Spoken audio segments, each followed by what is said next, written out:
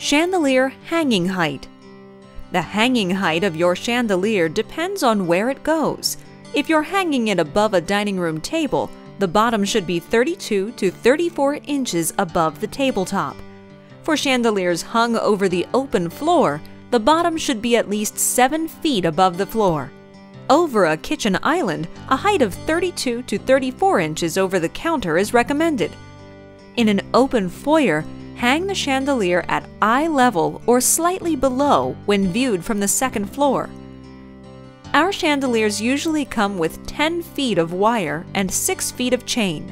These lengths work for most homes and can be customized to your ceiling height. Other chandeliers come with different downrod sizes which can be combined to achieve your ideal hanging height. Thanks for watching!